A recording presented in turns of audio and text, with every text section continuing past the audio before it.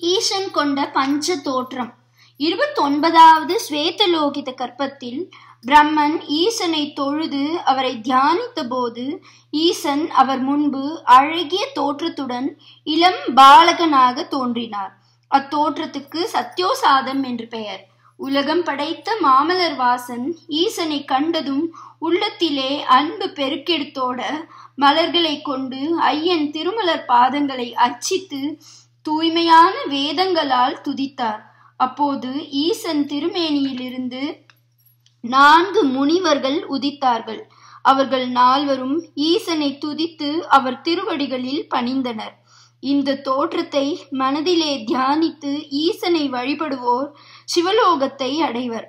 முப்பதாவது இரத்த கற்பத்தில் பிரம்மன் உளம் கனிந்து உருகி ஈசனை தியானித்த போது கொடிய விஷம் கொண்ட பாம்பை சடையிலே அணிந்து மானும் மழுவும் க கரத்தில் ஏந்தி ஈசன் அவருக்கு தரிசனம் தந்தார். இத்தோற்றத்துக்கு வாமதேவம் என்று பெயர்.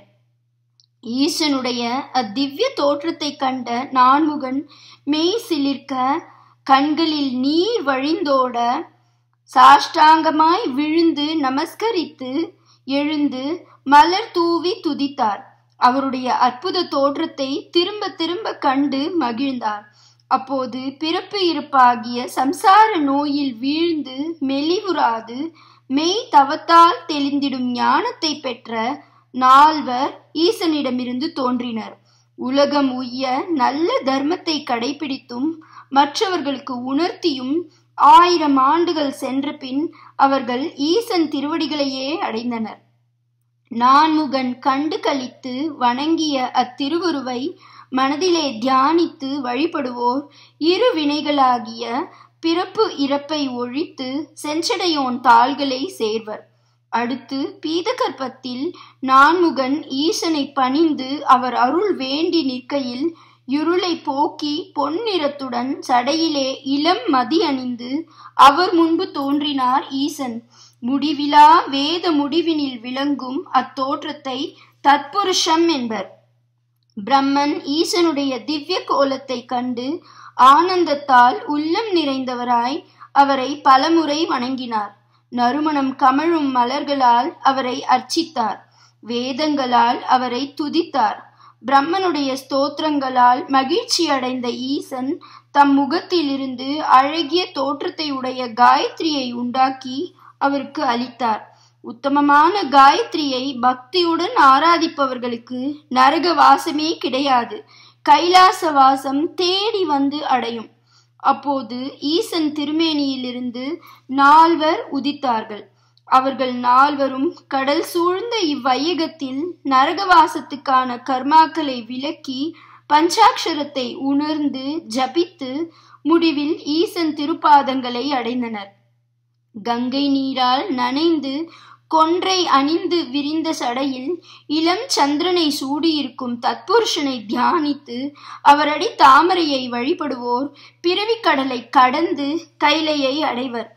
அதற்கு அடுத்த நீல கற்பத்தில் பிரம்மன் ஈசனை தொழுது அவர் அனுகிரகம் கோரி வேண்டி நின்றபோது முக்கண்ண பெருமான் தீச்சுடரும் வாளும் கரத்திலேந்தி கரிய ரூபத்துடன் தோன்றினார். அகோர ரூபம் என்று அத்தோற்றத்தை கூறுவர். அவரிடமிருந்து நால்வர் தோன்றி ஆயிரம் பருவம் சென்ற பின்னர் அவருடைய கமலிட கமலச்சேவடி நிழலை அடைந்தனர். பிரம்மன் எம்பெருமானுடைய அற்புத தோற்றத்தை கண்டு மனம் கழித்து அவர் தாழ் பணிந்து எழுந்து மலர்களால் பக்தியுடன் அர்ச்சித்தார். அவருடைய வழிபாட்டால் அளவற்ற சந்தோஷம் கொண்ட ஈசன் பிரம்மனை நோக்கி அன்பு மிகுதியால் என்னை ஆராதித்தது கண்டு மகிழ்ச்சி உற்றேன் வேண்டுவன கேள் தருகிறேன் என்றார். பிரம்மனும் அவரை பணிந்து ஐயனே தங்களிடம் என்றும் குன்றாத அன்பை தர வேண்டும் என்று வேண்டினார். ஈசனும் பிரம்மனை நோக்கி சொன்னார் நான்முகா பெண்களை கொன்றோர் பாம்புகளை கொன்றோர் சிறந்த வேதங்களை கற்ற அந்தனரை கொன்றோர் அரசரை கொன்றோர் அறிவு போதித்த ஆசானுக்கு இன்னல்கள் விளைவித்தோர் கல்லுண்டோர் பிறன் மனையாளை ஆசையுடன் சேர்ந்தோர் பொன்னை திருடியவர் பிறருக்கு விஷம் கொடுத்தோர் தஞ்சம் என்று வந்து சரணடைந்தவருக்கு துன்பம் இழைத்தோர் போர்க்களத்தில் அரசரை கைவிட்டு ஓடியவர் நண்பருக்கு துரோகம் செய்தோ யாகம் செய்யும் அந்தனரை தடுத்து யாகம் செய்ய முடியாது. அவர்களை துன்பப்படுத்துவோர் சிசுகத்தி புரிந்தோர் ஆகியோர் என் மந்திரத்தை லட்சம் முறை ஜபித்தால் மலை முகட்டிலே தோன்றும் சூரியனை கண்டதும் விலகும் இருளை போன்று பாபங்கள் விலகி கைலாசத்தில் இனிது வீற்றிருப்பர் என்று அனுகிரகித்து மறைந்தார். அதற்கடுத்த விஸ்வரூப கற்பத்தில் மலரையன் ஈசன் அருள் வேண்டி அவரை தியானித்த போது ஈசன் அவர் முன்பு தோன்றினார். சடையிலே பிறைச்சந்திரனும் நெற்றியிலே மூன்றாவது கண்ணும் கடைவாயில் கோரை பற்களும் கொண்டு இரு பக்கங்களிலும் இரு மாதர் வர தம்முன் தோன்றிய ஈசனை கண்டு விரிஞ்சன் தரையில் வீழ்ந்து வணங்கினார். உளம் கனிந்து மலர்களால் அவரை அர்ச்சித்தார். அவருடைய தோற்றங்களால் மனம் கழித்த ஈசன் நான்முகா நீ வேண்டுவது யாது? என்று கேட்டார். பிரபோ தங்கள் அருகில் உள்ள இரு மாதரும் யாவர்? தெரிவிக்க வேண்டுகிறேன் என்று பணிவுடன் கேட்டார் பிரம்மன்.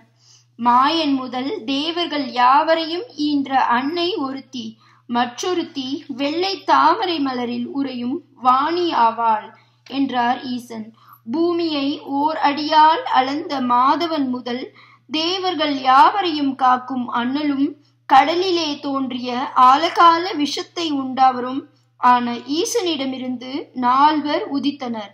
உலகமெல்லாம் உய்ய இடர்படாத நெறியில் நின்று தர்மத்தை உணர்த்திய பின்னர் அவர்கள் ஈசன் திருவடிகளை அடைந்தனர்.